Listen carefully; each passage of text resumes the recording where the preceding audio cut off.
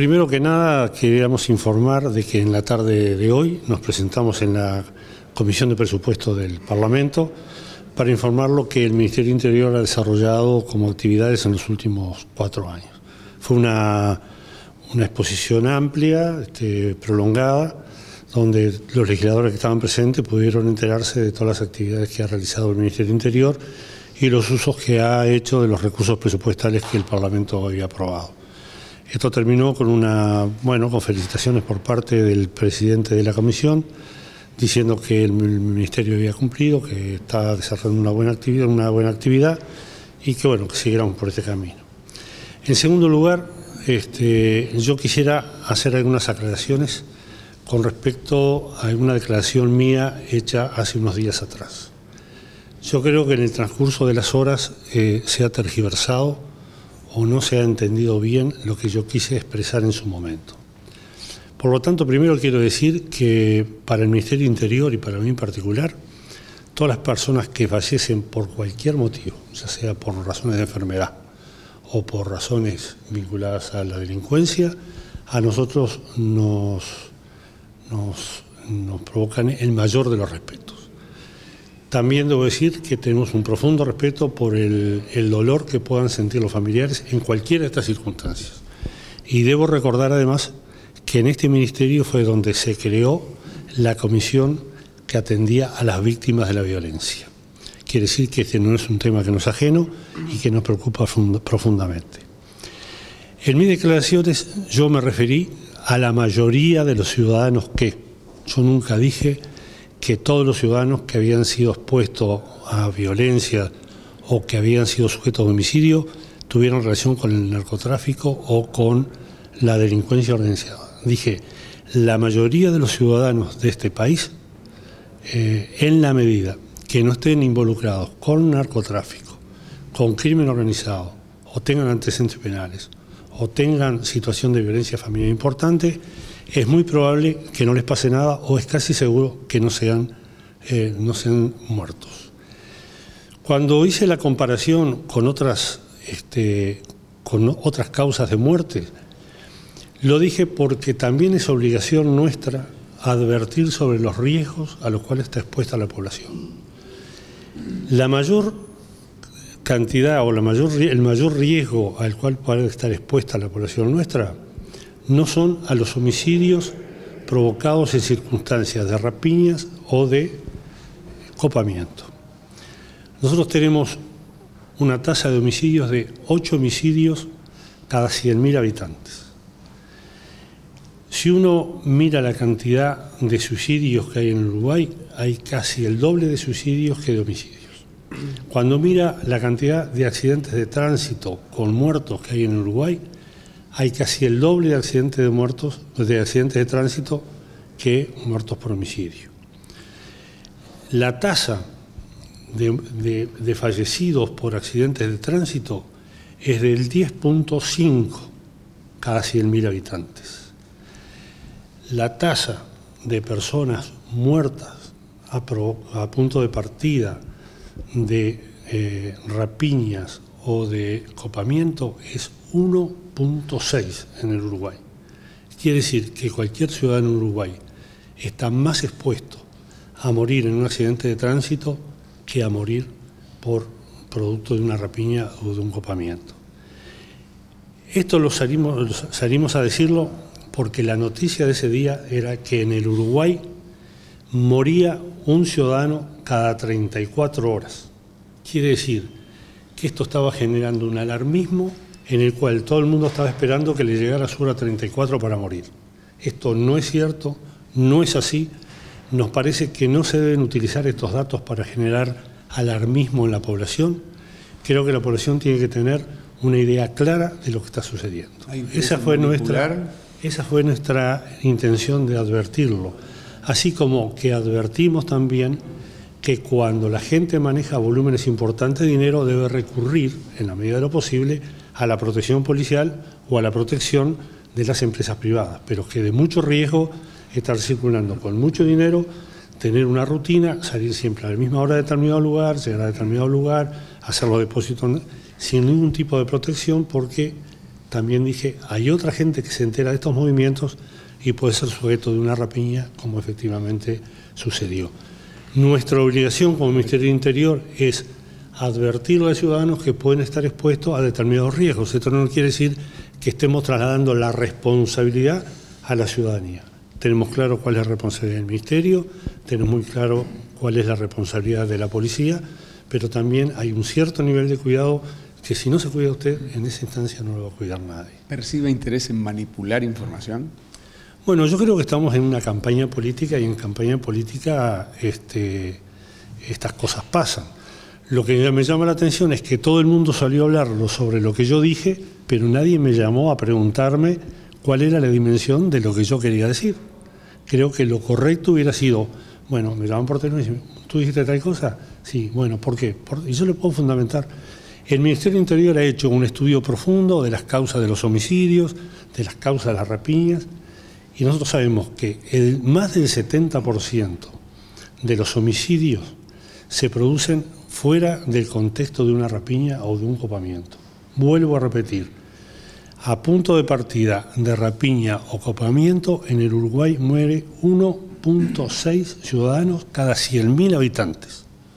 Por accidente de tránsito mueren casi 11 habitantes cada 100.000 habitantes.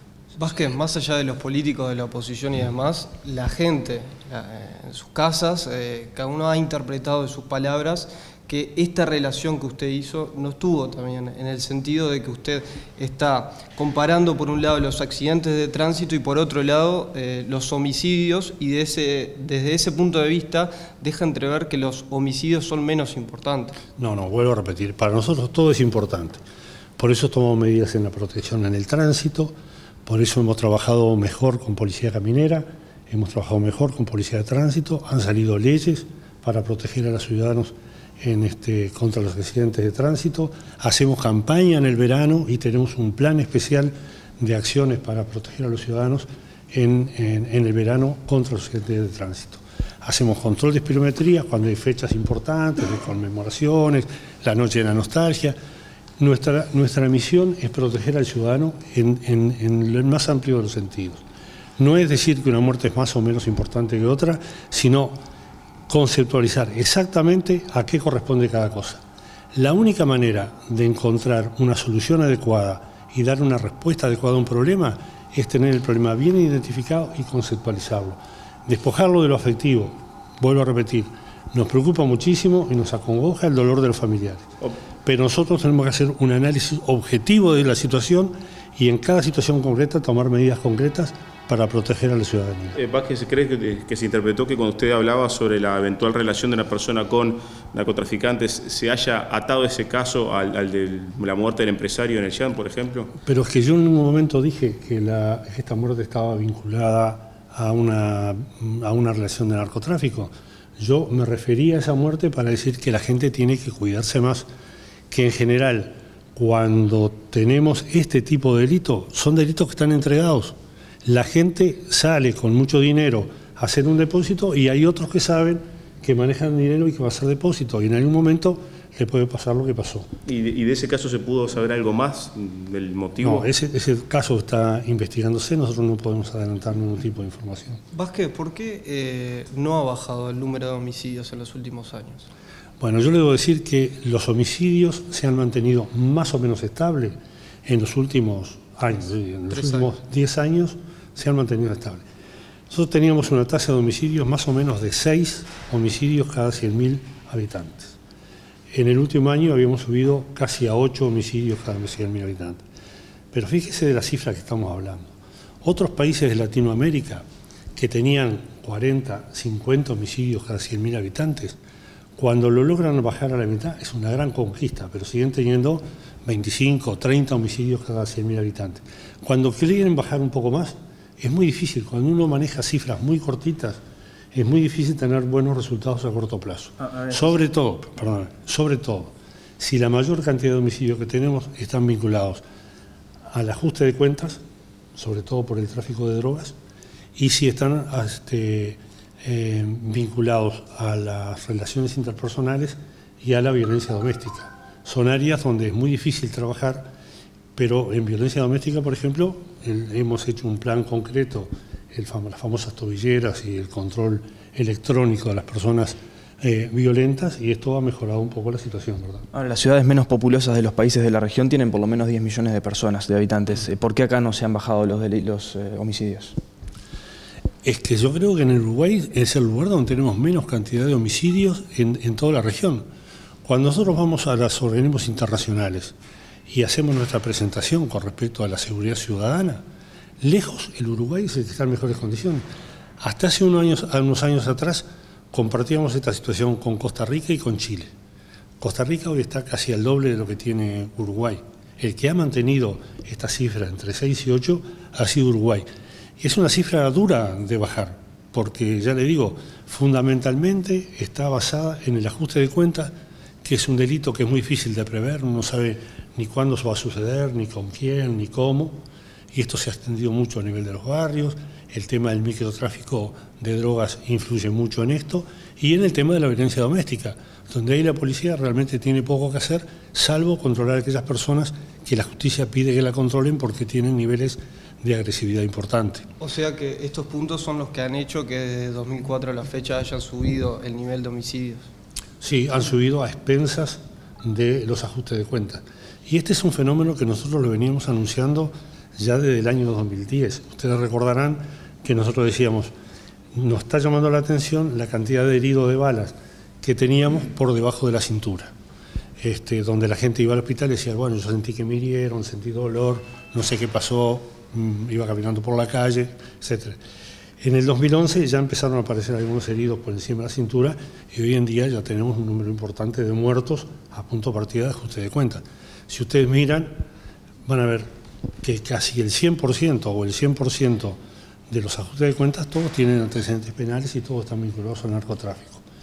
Y un número reducido de homicidios no aclarados, sabemos que no son por violencia familiar, porque si no lo sabríamos, no están vinculados a, a rapiña ni a copamientos, por lo tanto entran dentro del rubro, probablemente dentro del rubro este de ajuste de cuentas. esa, vinculación al narcotráfico involucra a un grupo, o a varios grupos? ¿Cómo viene la investigación en ese sentido?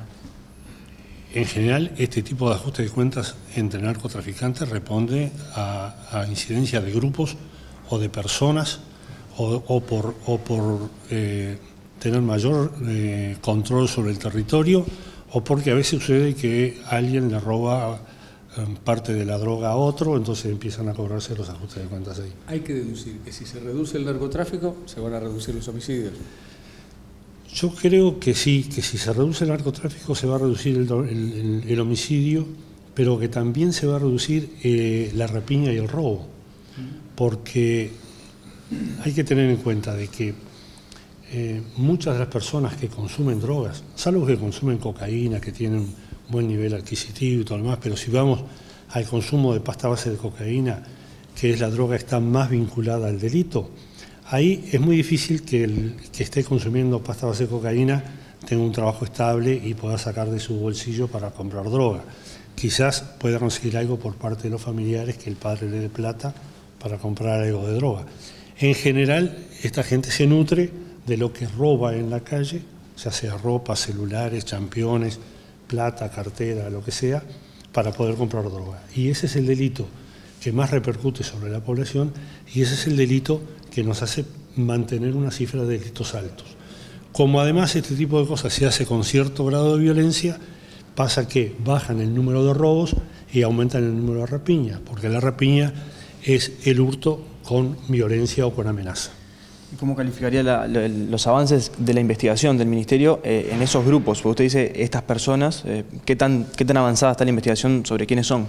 Bueno, el, avance que se está teniendo es importante, se está haciendo un, trabajo muy detallado, muy mesurado, y como novedad debo decirles que se ha creado una comisión donde se ha traído gente altamente especializada y además en los últimos tiempos nosotros hemos mandado policías a capacitarse a Cambridge, a Nueva York, a Los Ángeles y han venido expertos de estos lugares también a capacitar policías y estamos creando una comisión que se va a dedicar a estudiar en profundidad todos aquellos delitos que todavía no han sido aclarados. Como además tenemos mucha más tecnología, tenemos el banco de ADN, que hasta ahora no lo teníamos, tenemos eh, microscopio electrónico para identificación balística, que hasta hace poco no lo teníamos, tenemos un sistema informático de identificación balística de última generación, que hasta hace poco no lo teníamos. Todos estos elementos van a permitir que podamos ser más eficientes aclarando los delitos. Vázquez, ¿qué mensaje le da a la familia del fallecido recientemente?